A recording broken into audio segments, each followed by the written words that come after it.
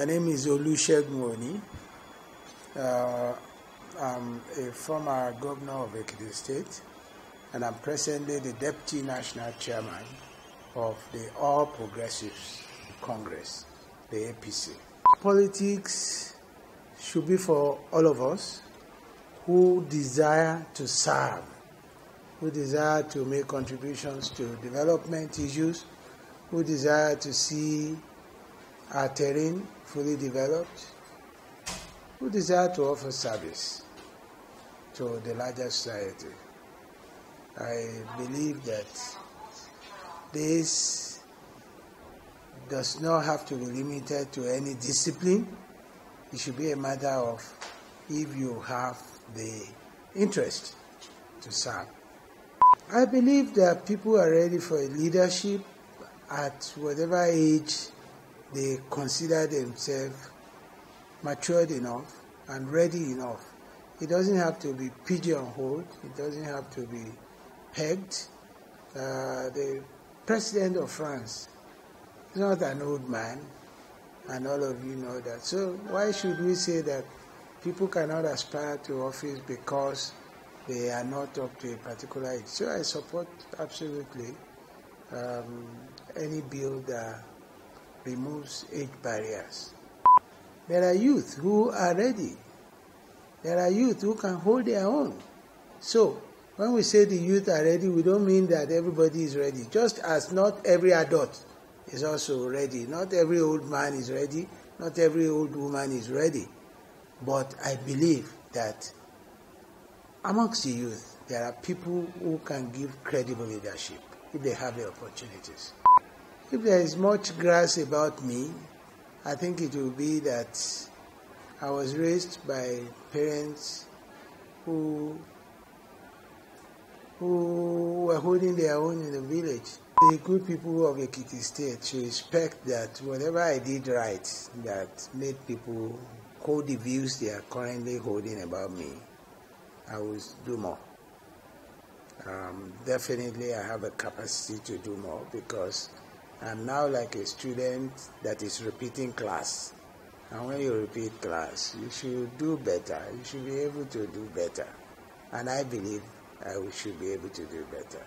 Um, I also ensured that we created an access to the digital world for young people by saying that every child that comes into the um, into the boarding school at SS1 will get a laptop. In an environment each of the secondary schools had um, uh,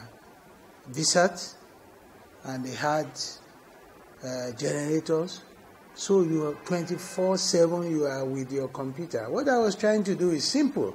I wanted a man machine interaction.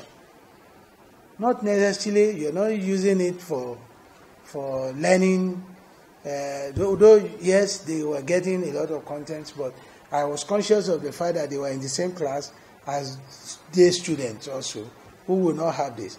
So we said, put these guys on the information highway let any of them drive at any speed he wants, but you may have a hundred, a hundred thousand people, and only one or two will become world beaters.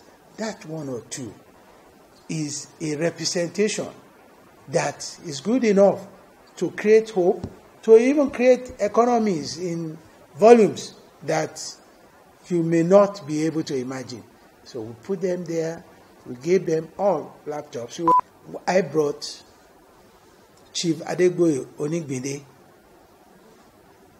who is one of the best development coaches around. He's a tactical coach. Being a tactical coach made him Eagles uh, coach, and he did it quite well.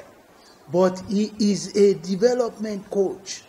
So I brought him to come and be resident and work with us full time.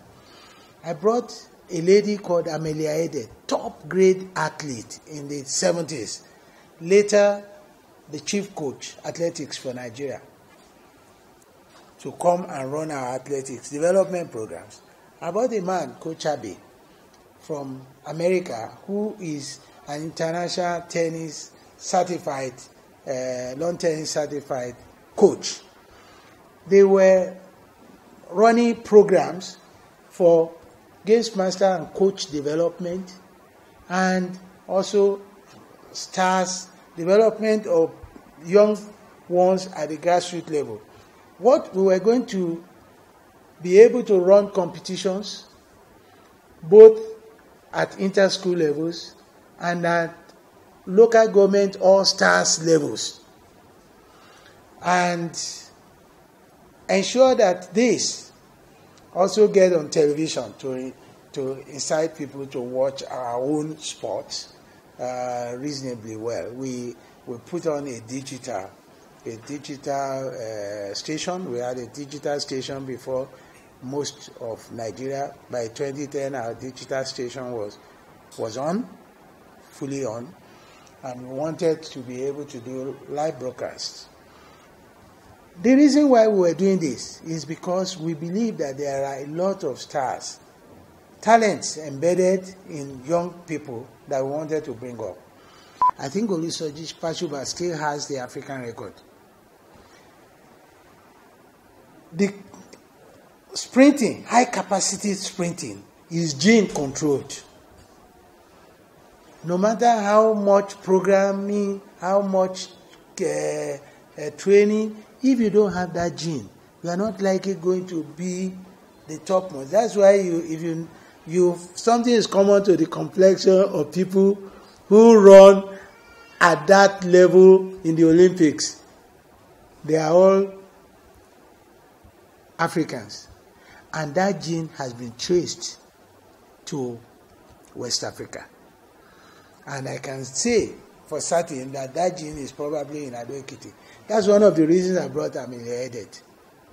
And I know that if she were there now, by now, we would have identified at least four, five, ten people who has potentials to win gold medals for Nigeria in the Olympics.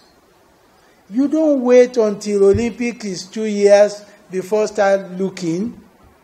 You won't get anything if they don't have the right of bringing, if their diet has also made them very suspect. And talking about diet, that was why, that was part, because I want the grey matter to grow very well, and I want the physique to grow well. That was why I brought in eggs. I was giving pupils at primary and junior secondary eggs and chocolate tea Tuesdays and Thursdays. Two, twice a free of charge. Because we are trying to develop the people of the future, we are ready to invest in them. And what I told the sports guys is that as soon as they get somebody, they quote a five star potential, we will take over the feeding. And we will be giving such a guy weekly rations and warn the parents this food is not for you and it's not for the younger brother or the older sister, it is for this guy or this girl because of what they will do for you in future. We would have done that. If we don't invest in the youth, we are not going to get them to be at their full potential. So we, we created opportunities. We wanted to invest in them. We were investing in them in a very unique way and I'm sure we would have been getting super results by now. If you ask me what am I going to do, those programs I am going to I have quite a lot of them, loads of them. I'm going to bring them back. Of course, in Ekiti, I introduced the first scholarship uh, scheme for Ekiti as a state. I created the first scholarship board. I introduced the first scholarship scheme. Once you're brilliant and uh, the scholarship scheme was a product of that. And in two years, I think we did. Uh, remember the figure now, whether it's 201 or 101 PhDs. PhD scholarships. Many of them are lecturers now in different places. Some of the youth of then are entrepreneurs in fish farming. So we created an entrepreneurship development program where we deposited money with a bank of industry and they were going to run a counterpart funding for it and we were training them to be entrepreneurs so that they will have access to that loan. Now a loan from the Bank of Industry, part of which was funded by us. And of course we had microcredit scheme. For those who want the quick fix, 100,000, 200,000 to be able to start a business or be able to do what they, they have been doing before very well. So, our programs for the youth will be a continuation of what we have done. I would say they should not give up. I feel for them, and I believe that we owe the youth the responsibility to help them to get over the poverty.